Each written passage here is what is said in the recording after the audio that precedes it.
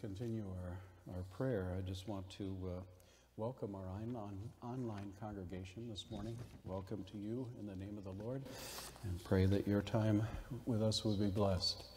Um, I also wanted to mention um, and express our Christian sympathy to the Adrianson families and their kinfolk in the passing and homegoing of Carolyn Adrianson.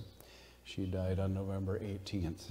The calling hours will be here in our gym on Wednesday from 12 to 2, and the funeral will be here in our gym Wednesday at 2 o'clock. Um, so just to let you know that. And with that, let's go to the Lord in prayer.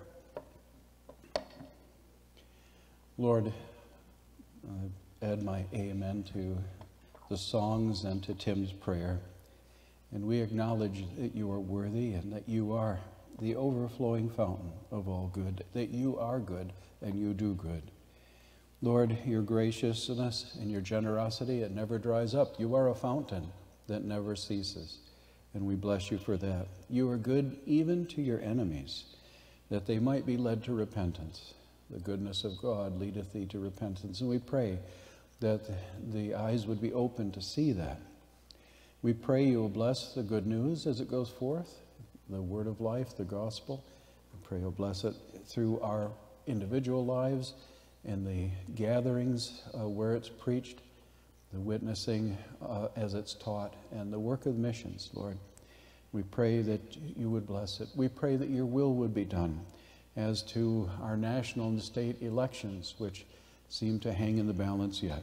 We pray your hand would be upon our service personnel, Lord, as well as law enforcement and emergency uh, personnel as well.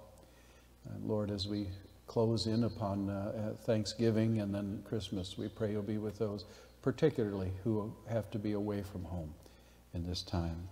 And Lord, it'll be a different kind of Thanksgiving this year because of the COVID and because of the fears, but also the restrictions, Lord. But nonetheless, we pray that you would um, that you would open our eyes to how much we have for which to give thanks to you, because you are an overflowing fountain of good, and you have poured out your goodness upon us.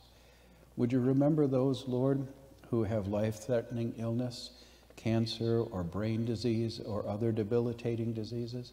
Would you remember them and their families, and particularly those whose lives are um, very much in the balance um, in these days. We pray your comfort for those who mourn, that you would be uh, with them. And um, Lord, we thank you for our, our dear sister who has gone home to be with you, and the comfort it is to the family and to her church family here to know that she's safe at home with you, and that by the grace of the Lord Jesus, one day we will be reunited. Thank you, Father that even though we mourn, we don't mourn as those who have no hope. But we are a people of hope because you are the God of hope. And we bless you for that. We pray, Father, that you will be with those who have been afflicted with the COVID. And uh, those, uh, we pray for your healing mercy. We also pray you'll be with those whose lives and whose work are adversely affected in connection with the COVID. Father, we pray that you would that you would stir up our hearts to fresh thanksgivings and fresh love to you as we acknowledge your goodness and kindness to you. Um, thank you for the freedom that we continue to enjoy in this land, at least in some measure, and pray it may continue. But also, Lord, that you will help us to avail ourselves of that and not take it for granted. Lord, we ask these things now, each and all, praying your blessing upon the continuance of the service that we may continue to worship and lift up our hearts to you in praise and thanksgiving because you are worthy. In Jesus' name, amen. Well, at this time, I'm going to turn the service over to you, Tom, and uh, he will be our uh, facilitator for our Thanksgiving testimonies.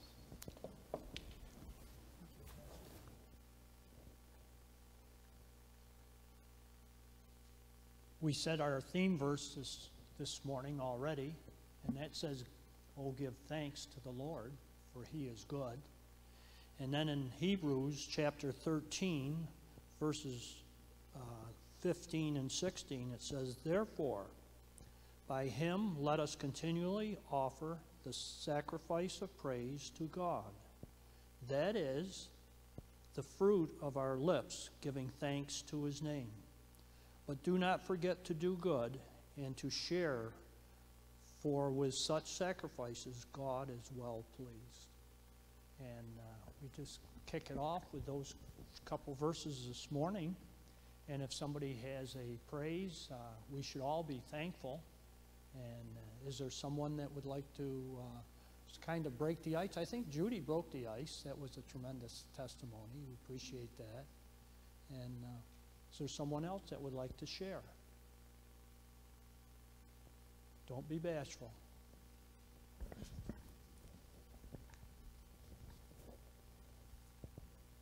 I- I'm supposed to hold it. Oh, I'm sorry. Um, anyway, I'll crack the ice some more. Uh, this has been a difficult year, and every time you turn around, everybody's complaining about what a horrible year 2020 was and has been. And we can't wait for 2021. Well, I kind of remember saying that back in 2019 and 2018, and so I just got to tell you, it might not be better yet. But we do know that it's gonna be better. It's gonna be better when we um, get to heaven, when we can be with Jesus. And I thank God immensely for the gift of faith that He has given me, because that has been my mainstay through all these hard times. Um, I look at people who don't have the faith that we all enjoy, and I, I wonder how they do it. I wonder how they do it. Um, so that being said, that is my biggest um, item to be grateful for. The rest is my, my husband and my family, my grandkids who are the light of my world. Um, and I'm thankful also for some of the things that I've learned this past year, like enjoying the slower pace and um, we're being forced into it, and it's not like we really asked for this, but there are some good things about being slower and not having a, a calendar that's crammed full of things to do and places to be. We have a chance to sit and think and, uh, and enjoy the people around us, even though it's a limited circle. But we can be grateful. We could be more grateful for these people as a result because they're who we have.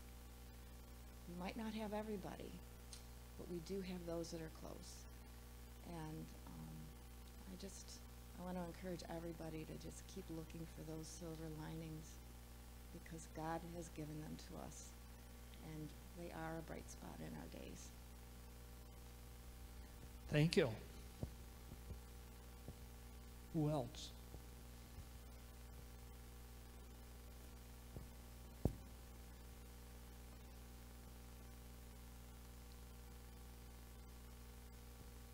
We'll go this side. You definitely get your exercise. No, that's okay. That's okay. Morning, everybody. Um, I was just sitting here thinking in response to the video with showing all the land and everything, and um, it was really, really hard to all of a sudden just not be able to see everybody that I normally see and have the freedom.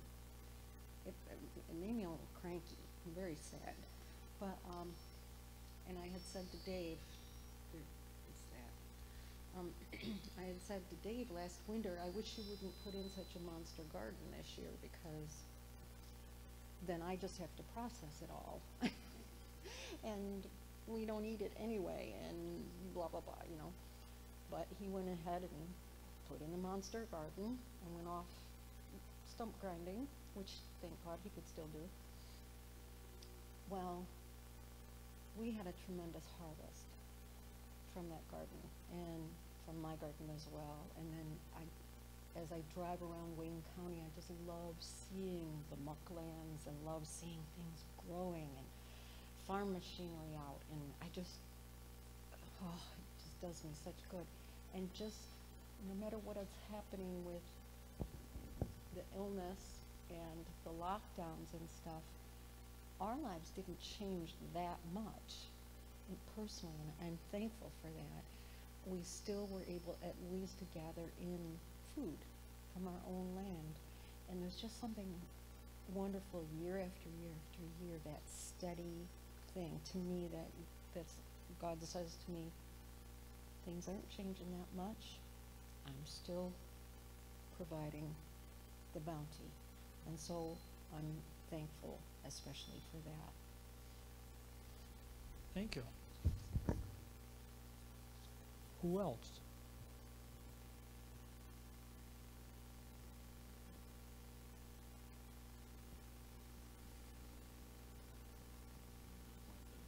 Yeah, wave.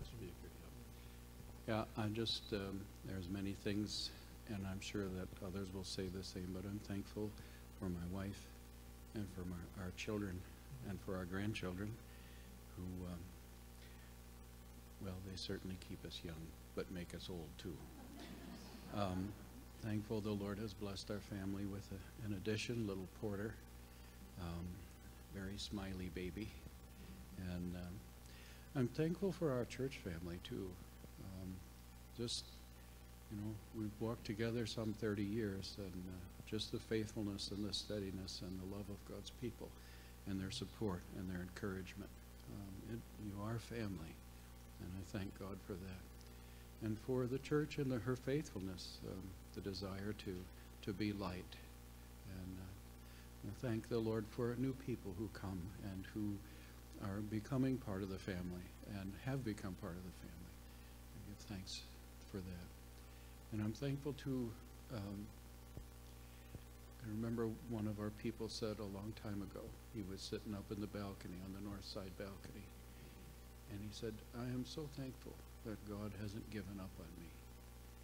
And I'm so thankful that too. Thank you. Thank you, brother. Someone else? Something that you're thankful for? Something the Lord's blessed you with? You'd like to share?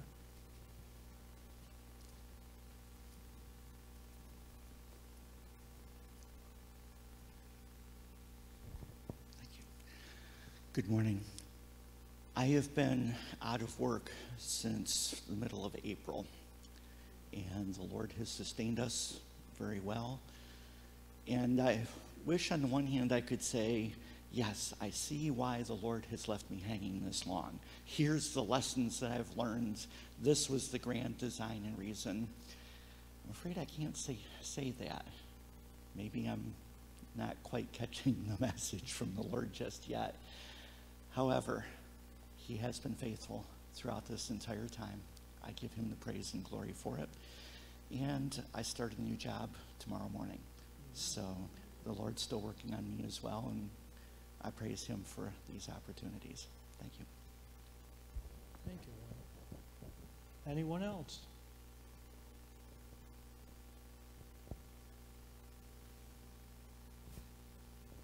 I should probably hang on. Okay, all right. Uh, Good morning, everyone. You know who I am, Ed Cooney, for those of you who are uh, relatively new. Anyhow, I suppose everyone, everyone is sitting here and saying, yes, I'm thankful for that and that and that. Pastor took uh, the first few things that I was going to say I was thankful for, and he said them, but I also am thankful for that, them. That means my wife, uh, my grandchildren, my children. I'm thankful for each and every one of them. Last night we had three grandchildren overnight, and as you can see, I'm missing my partner here this morning. Uh, but I was able to get out. Anyhow, uh, there have been many blessings come into my life over this past year. And uh, I, I just couldn't even start to mention them, but I, I have started, but I could go on and on, and I'm sure each one of you, as I, as I mentioned mine, you would say the same, that you're also thankful for uh, the, the same things.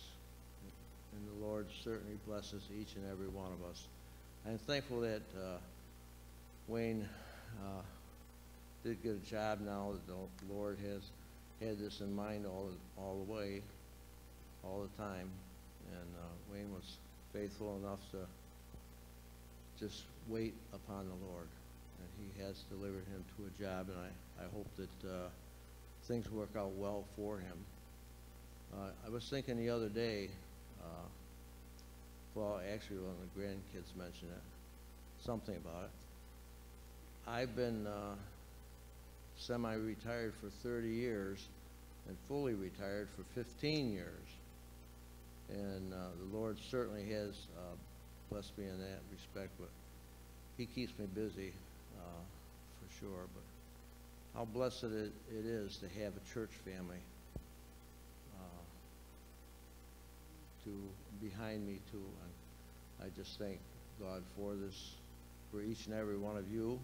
Uh, we may not uh, see each other that much outside of church, but I see you in church, and you are, each one of you are a blessing to me, and uh, I thank the Lord for you, for this church. Thanks, Tom. Thanks, Ed.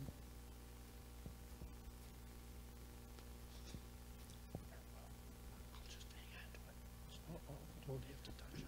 I, you know, I, just, on a, a- maybe a lighter note, and we're all talking about big things, and I want, everything that I st- thought I would say, Donna said, so, and ditto. But there's so many, so much that God is so involved in our lives.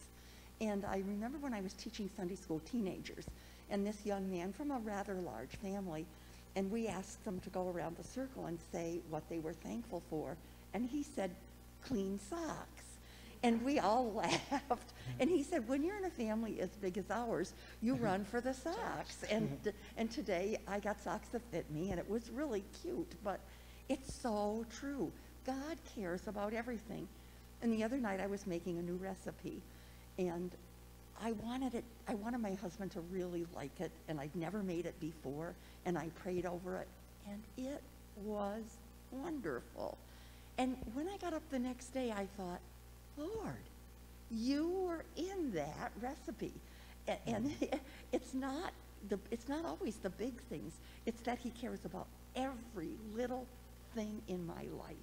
Every little thing, whether I have socks to wear or whether I have food to put on my table that's, that's palatable and good. Mm-hmm. And so I just want to thank him for his absolute care of me in every area of my life. He is so great and so greatly to be praised. Thank you for that. Someone else?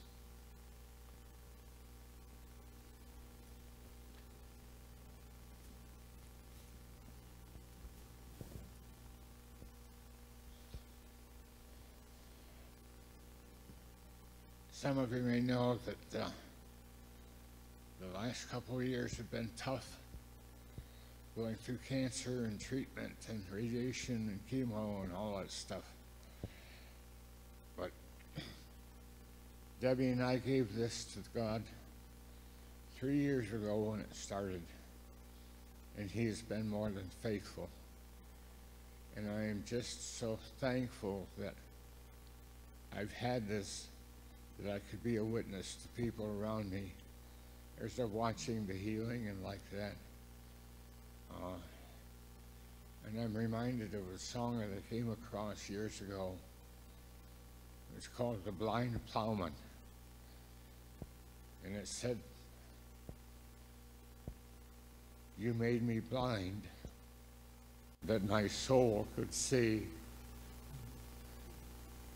Well, one of the side, if you call it a benefit that God did with me was I used to be a tenor and proud of that. And now I'm a bass.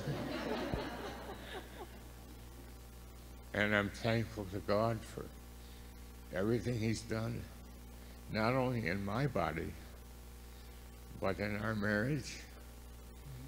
He's brought us much closer together and brought us to this church, which has blessed us immensely.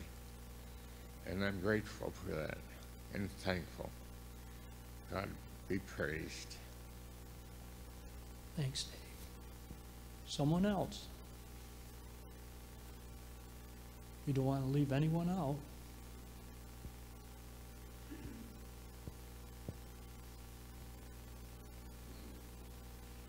As uh, the auctioneer says, going once, going twice. Oh, we do have a praise. Okay.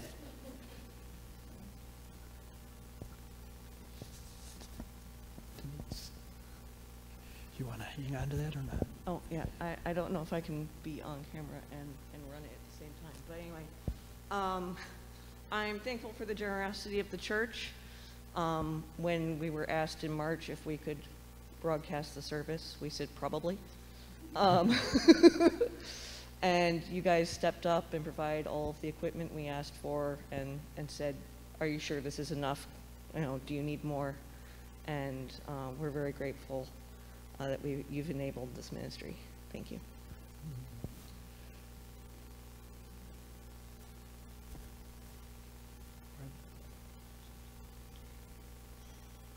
I just want to say that um,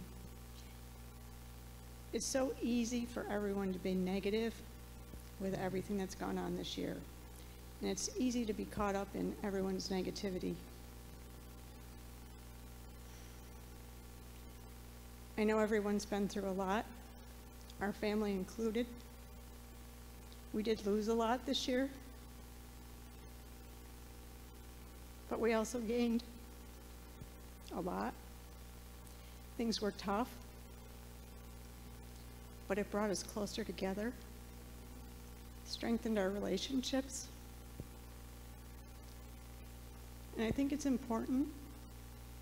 We have wonderful memories. We had wonderful parents as examples, and we're able to hold those memories close.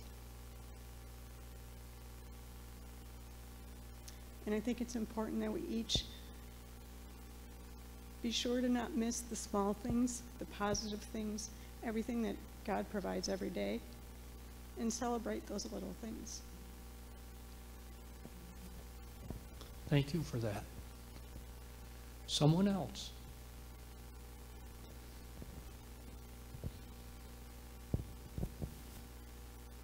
You certainly don't want to leave anyone out. Oh,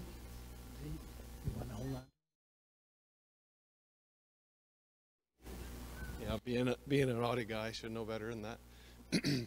I want to thank you, uh, thank the church, and uh, for really standing behind the youth ministries in this uh, in this town. Uh, Sue and I have been involved in uh, Marion Youth Center and Sunday School for a number of years, and we, we just uh, really appreciate the fact that kids come and, and just through that small effort, uh, they can hear the Word of God. Uh, just even coming out of the schools, off the streets, uh, they have no prior uh, learning or background, uh, but, but just the moment to, that we get uh, a few minutes or hours each week, each time we meet, um, to grow that faith and just open their eyes to the Word of God, the love of Christ. And to have a partner that is very encouraging in that area and to uh, and she just seeks uh, ways to minister to kids through foster care kids that we have in our home Uh, whether it's families that we can uh, uh, help out along the way I'm just uh, really blessed to have Sue in my life so thank you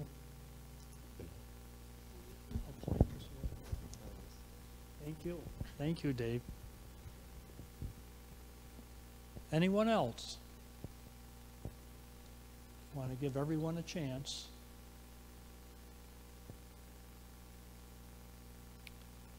I guess not. That's it.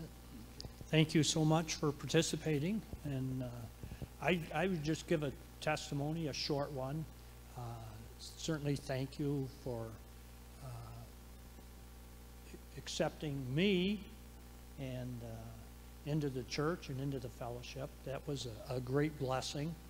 And uh, thank you for being with me. There was many of you that uh, have prayed and for me and uh, have been kind to me, has sent cards, uh, phone calls, especially uh, Pastor and his wife. Pastor's been a gem through this year.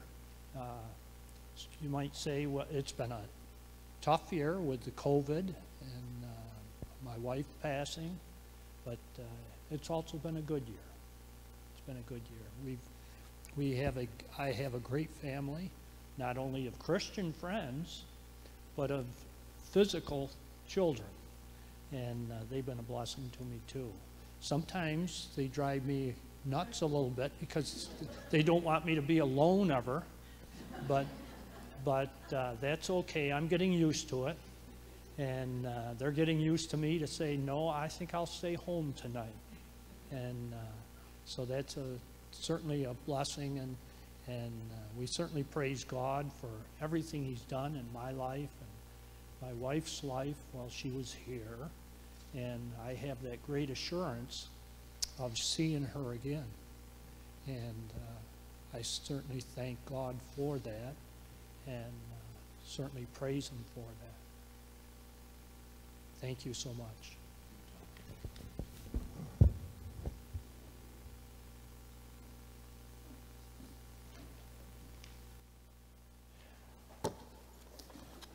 I do have a brief meditation I'd like to share before we close the service. And I do want to express thanks um, to the team that stepped in. March 15th was the last in person service we had.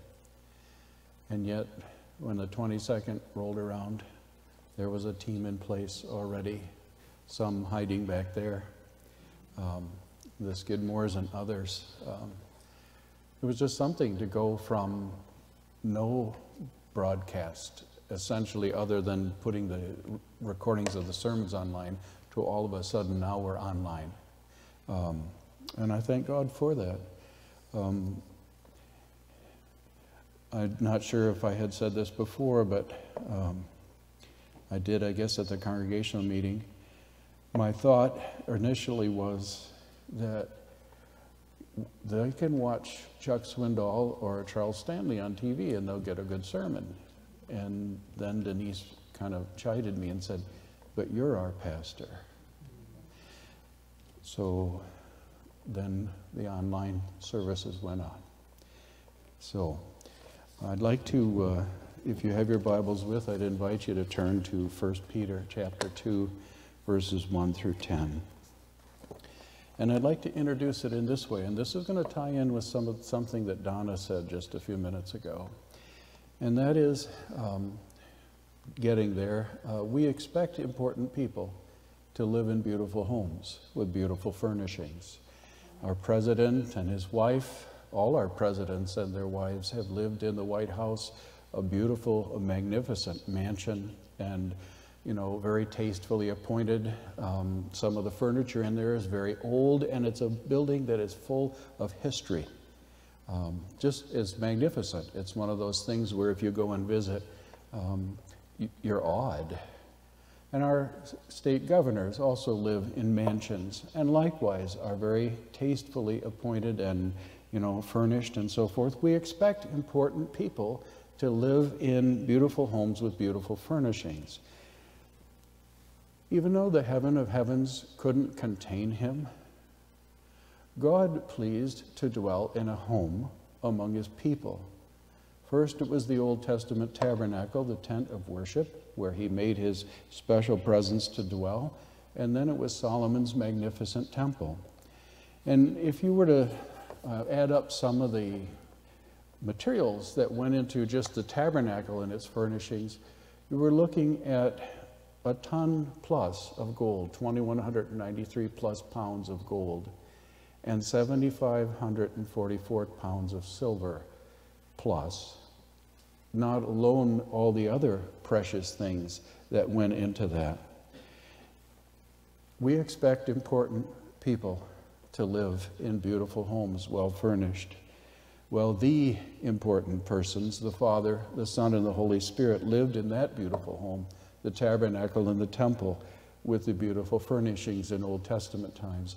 And yet, as beautiful as that home was, in the New Testament, our God lives in even more beautiful houses, beautiful to Him.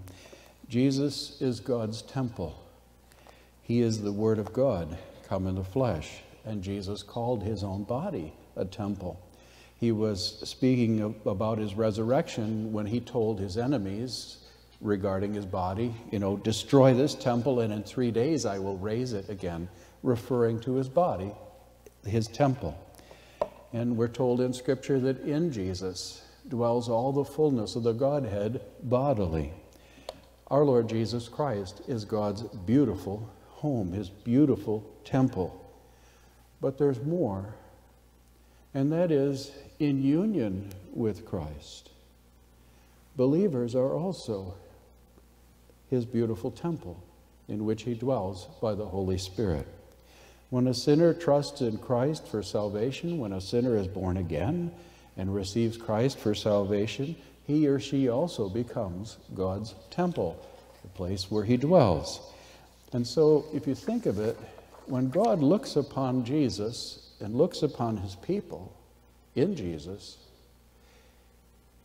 he sees a beautiful temple, a beautiful temple. And with Christ as our covering, his Spirit furnishes his temple with all manner of gorgeous graces and furnishings that ornament his worship. When we become Christians, we, be, we receive the white robe of righteousness.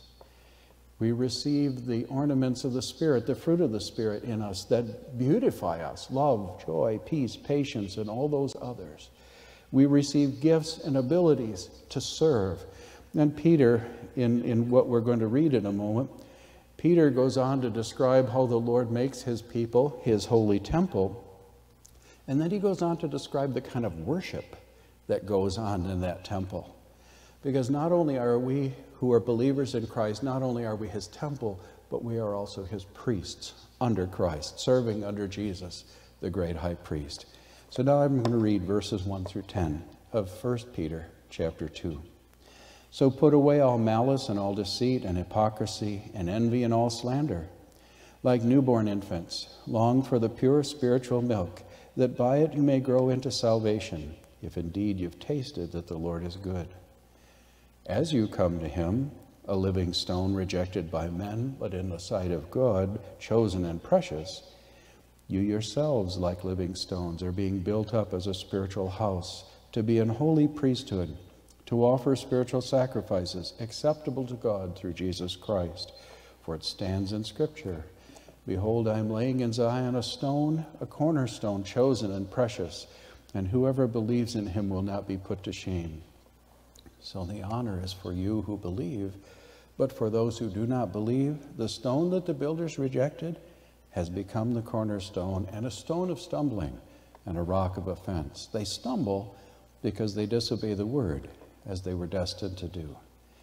But you are a chosen race, a royal priesthood, a holy nation, a people for his own possession that you may proclaim the excellencies of him who called you out of darkness into his marvelous light. Once you were not a people, but now you are God's people. Once you had not received mercy, but now you have received mercy. And our Thanksgiving meditation is going to focus on verse 5 about us as believers being a holy priesthood and especially, we want to look at what is our unique and our peculiar work, and that is to offer up spiritual sacrifices acceptable to God through Jesus Christ. Old Testament Israel's priests offered up sacrifices, but they were material sacrifices. They served in a tent of worship or a building of worship that was made out of physical materials.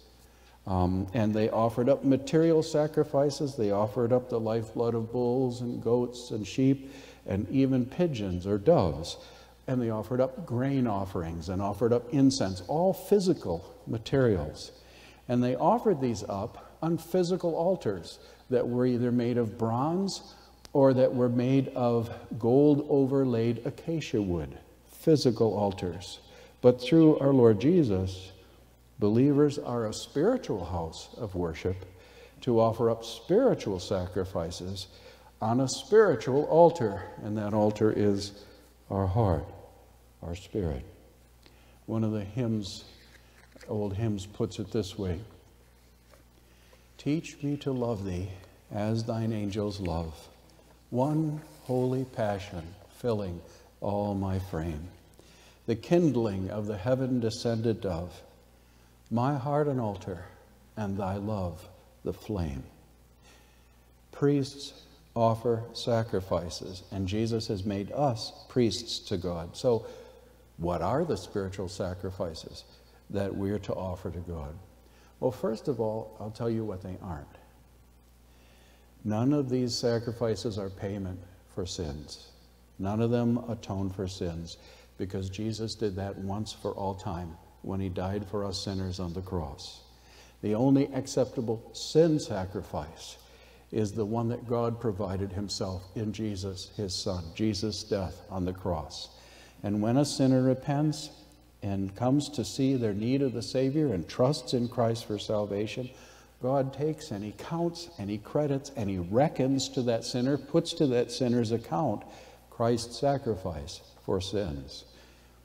Jesus' sacrifice on the cross for us and his enduring priesthood for us, ever in the presence of the Father on our behalf. These and these alone make our worship and us as worshipers acceptable to God. Okay, that's what spiritual sacrifices are not. So, what are these acceptable spiritual sacrifices that please God and that satisfy His heart? And ultimately, whenever the Bible uses the word spiritual, it has reference to the Holy Spirit. Um, and these sacrifices that are spiritual, they have to do with what the book of the Spirit, the Bible, instructs us that God wants us to give Him, the kind of obedience that we're to offer up.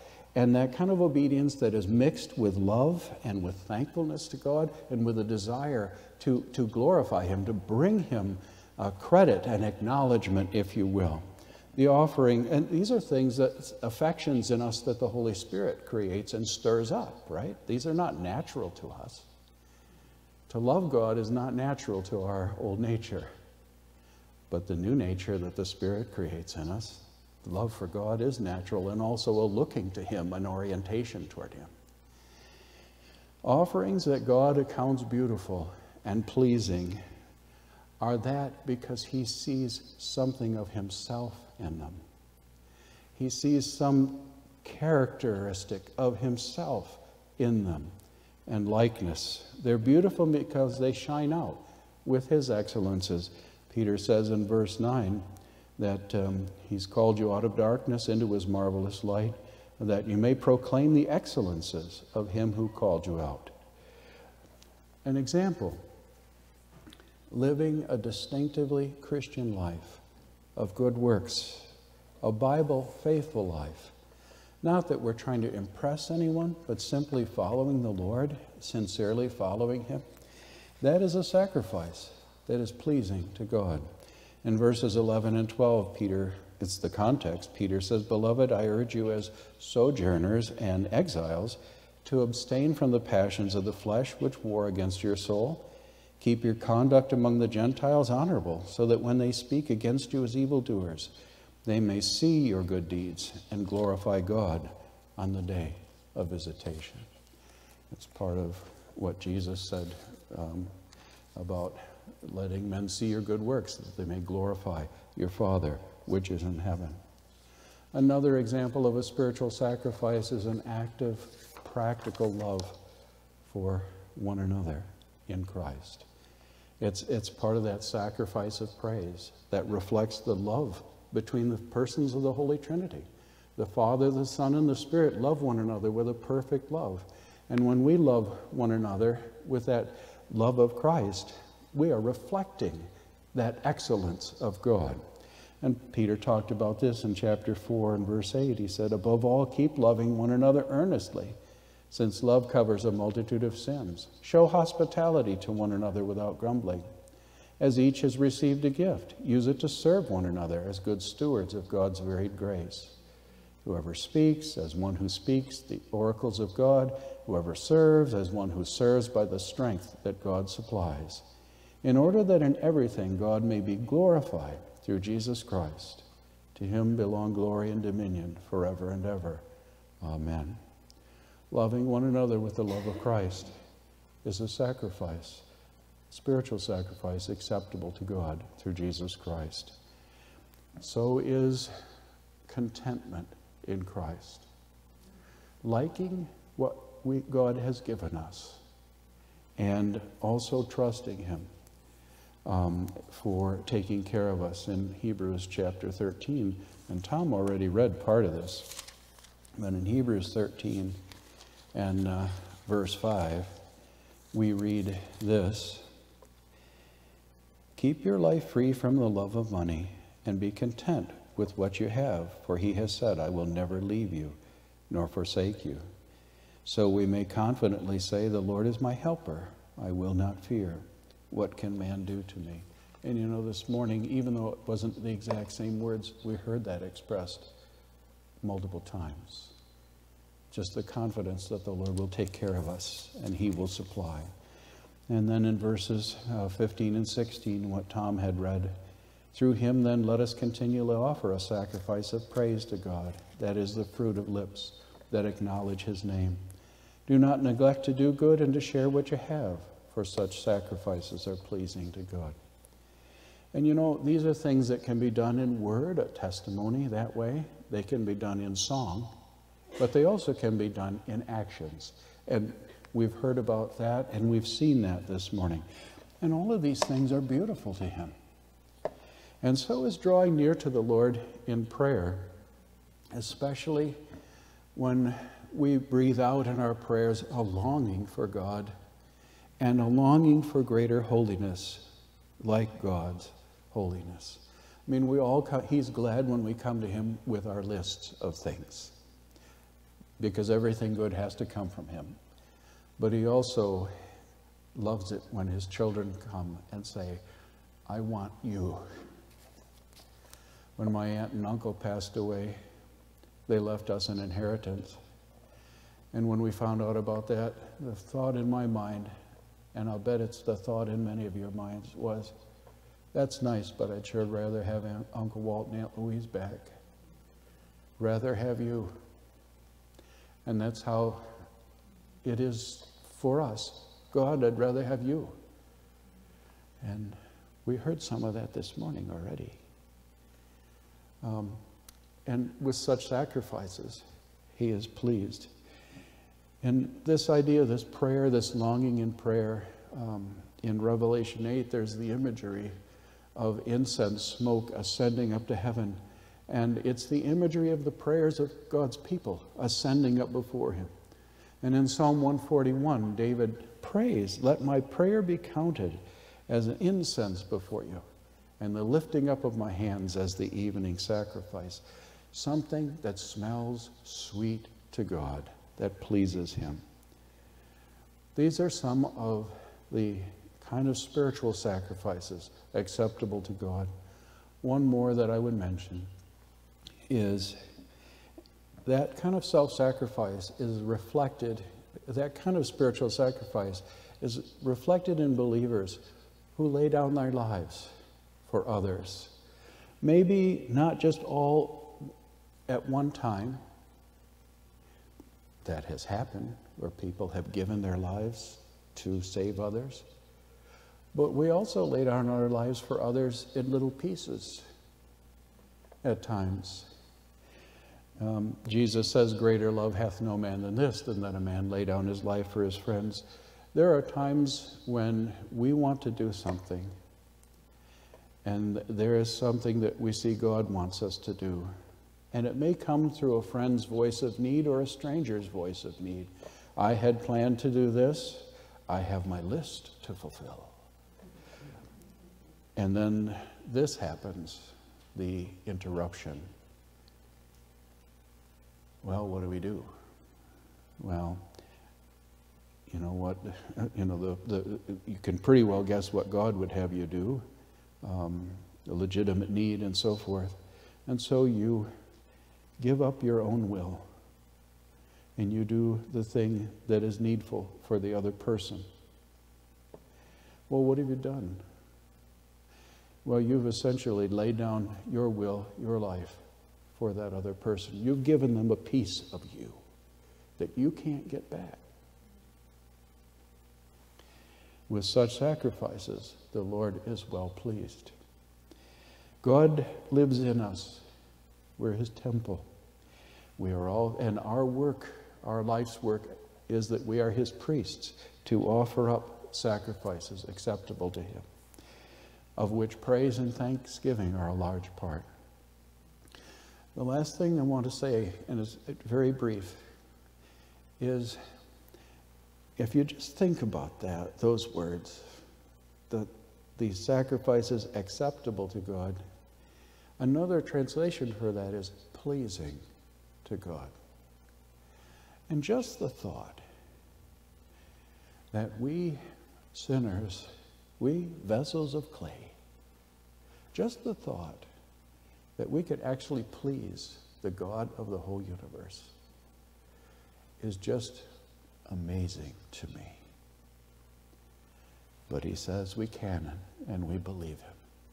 To him be the glory and the thanks. Let's pray. Father, thank you for your word. Thank you for the worship of your people that you stir up by your Spirit, these testimonies of thanksgiving, the ones who have been spoken out, but also know there are others that have certainly been thought, and you've heard those too. We thank you for that. We pray that you will help us, Lord, to walk ever closer to you, that we might live out our lives as that holy priesthood of believers, um, and that you would help us to be mindful of, of our lives that we would indeed offer up spiritual sacrifices acceptable to you through Christ Jesus. If they're not in Him, they're not acceptable, but in Him. Oh, great God and Heavenly Father, thank you that they bring you pleasure. In Jesus' name, amen.